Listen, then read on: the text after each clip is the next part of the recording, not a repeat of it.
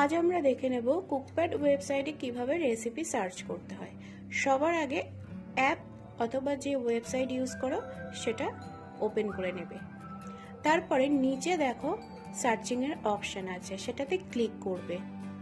একদম ওপরে দেখো রেসিপিগুলি খুঁজুন বলে একটা অপশান আছে।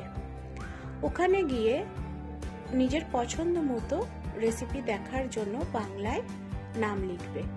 আমি উদাহরণস্বরূপ একটা রেসিপির নাম লিখে সার্চ করব। তার জন্য খিচুড়ি লিখলাম এবং নিচে দেখো খিচুড়ি বলে সার্চিংয়ের একটা জায়গা আছে।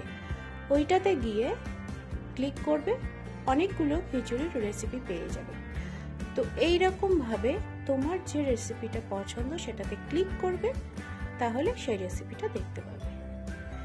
একইভাবে আমি আরও একটা উদাহরণস্বরূপ দেখিয়ে দিচ্ছি যে কীভাবে রেসিপি সার্চ করতে হয়। তো আমি আর একটা রেসিপি দেখানোর জন্য এখানে আমি ক্লিক করব এবং একই প্রসেসে রেসিপিগুলি খুঁজুন যেখানে আছে সেটাতে লিখব। তো আমি এখানে লিখে নিলাম আলু ভাজা এবং আলু ভাজাটা লেখার পরে সার্চ করব। তো দেখো বন্ধুরা, এখানে কিন্তু অনেকগুলো আলু ভাজার রেসিপি চলে এসেছে। তো এখান থেকে আমার যেটা পছন্দ সেটা দেখে নেব।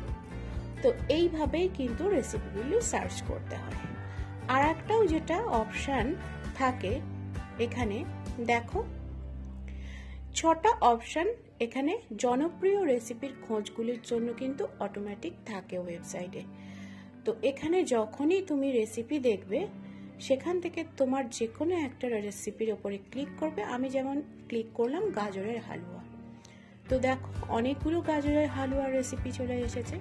তো এইভাবেই কিন্তু রেসিপি সার্চ করতে হয় কুকপ্যাড ওয়েবসাইটে